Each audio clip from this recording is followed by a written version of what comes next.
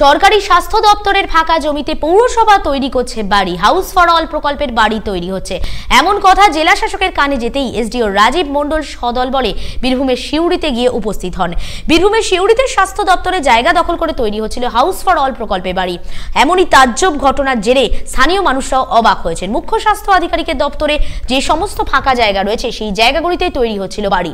কিন্তু কীভাবে সম্ভব সরকারি জায়গায় হাউস ফর অল প্রকল্পের বাড়ি তৈরি? যে সমস্ত মানুষের কোনো জায়গা নেই, সেই সমস্ত মানুষকে পৌরসভার পক্ষ থেকে এই বাড়ি তৈরি করে দেওয়া হচ্ছিল, যেটা বাস্তবে নিয়ম মেনে কখনোই সম্ভব নয়। যে সমস্ত বাড়ি স্বাস্থ্য দপ্তরের জায়গাতে তৈরি হচ্ছিল, সমস্ত বাড়ি বন্ধ করে দিলেন এসটিও সদর রাজীব মণ্ডল। পাশাপাশি পৌরসভা এবং প্রশাসনকেও জানানো হয়েছে, যদিও পৌরসভার পক্ষ থেকে জানা গেছে যে এই বিষয়ে উজ্জ্বল চ্যাটার্জি তিনি বলেছেন, কিছুই জানতো না পৌরসভা, জানলে এমন ব্যবস্থা হতে দিতেনি না। এখানে আমাদের সিএমওএস সাহেবের অফিস ক্যাম্পাসে যে এরিয়া ছিল আমাদের, সেটা অনেকটাই আর কি দখল হয়ে গেছে দখলকারীদের জন্য। তো সেটাই আমরা আজকে ডিমার্কেশন করতে এসেছি। সেখানে পুরনো যে বাউন্ডারি আছে, তার আশেপাশে অনেকেই আর কি দখল করে বাড়িঘর করেছেন আর কি। কিছু বাড়ি মিউনিসিপ্যালিটির হাউজিং ফর অলে স্যাংশন হয়েছে এবং বাড়িও তারা করেছেন। এরকম কি পাওয়া যায় সরকারি জায়গার উপর? সরকারি জায়গাতে কি এই ক্ষেত্রে কি ব্যবস্থা নেবেন আপনারা? সেটা আমাদের আজকে আমরা ডিমার্কেশন করতে এসেছি। এরপরে আমরা বিষয়টা জানাব আমাদের উদ্বোধন কর্তৃপক্ষের কাছে। এবং সেগুলো আমরা দেখলাম তাদেরকে আপাতত বন্ধ রাখতে বলা হয়েছে। পৌরসভাকে কি এই নিয়ে হ্যাঁ নিশ্চয়ই জানানো হবে পৌরসভাকে।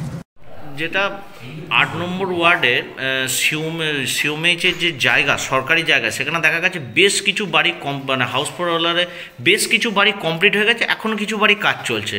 সেক্ষেত্রে সিউমেচ সাহেব তিনি এসডিও সাহেব তিনি ভিজিট করে বন্ধ করে দিলেন। উনি এই ক্ষেত্রে পারমিশন কি করে পেল বাড়িগুলোর? দেখুন, প্রথম কথা হচ্ছে, এই ব্যাপারে আমাকে আজ পর্যন্ত আমার নলেজে কেউ দেয়নি। দু নম্বর হচ্ছে ওখানে আপনার হেলথের জায়গাটা আমার জানা আছে, ওটা হেলথেরই জায়গা। দীর্ঘদিন ধরে ওখানে পরিত্যক্ত জায়গা। ওখানে অস্থায়ীভাবে প্রায় পঞ্চাশ বছর ধরে কিছু লোক ওখানে বসবাস করে। কিন্তু হাউস ফরল যে বাড়ি হচ্ছে, এর তো দায়বদ্ধ আমাদের যে ওয়ার্ডে কাউন্সিলর আছে, সে হচ্ছে আমার জানানো উচিত ছিল। জানি না কেন আমার জানায়নি। আমি বিষয়টা তদন্ত করে দেখছি। যদি কার প্রচনায় বাড়িগুলো হলো বা কী করে হলো, সেটা আমি তদন্ত সাপেক্ষ আমি ইনকোয়ারি করছি। তারপর আমি এসডিওকে রিপোর্টটা দিচ্ছি যে যে বাড়িগুলো এই মুহূর্তে কমপ্লিট হয়ে গেছে সেগুলো কি কোনো পরিকল্পনা নেবেন? দেখুন এবার এরকম অনেক গভর্নমেন্টের জায়গা আছে যেরকম অস্থায়ীভাবে দীর্ঘদিন ধরে যেগুলো কোনো ব্যবহার হয় না সেখানে অনেক লোক বাস করে। এটার ক্ষেত্রে কী হয়েছে সেটা আমরা ইনকোয়ারি না করলে তো বলতে পারব না। আমি ইমিডিয়েটলি ইনকোয়ারি করছি দেখছি।